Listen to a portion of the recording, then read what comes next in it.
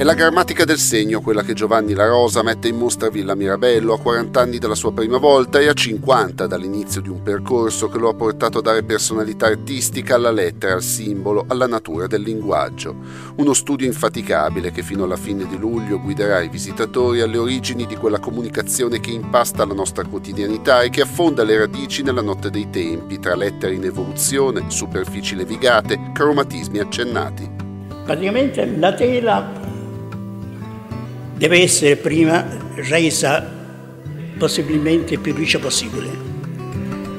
E, e, e, c'è un fondino che ho scoperto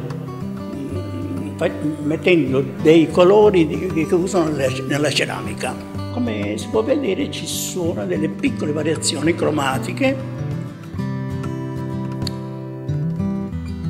che sono come un, un suggerimento di colore, non, il colore non si impone, ma si impone il segno. Un'esposizione che, pennino alla mano, racconta in modo inedito l'altra faccia dell'interazione nella forma che si fa sostanza e che cambia continuamente da ogni punto di vista.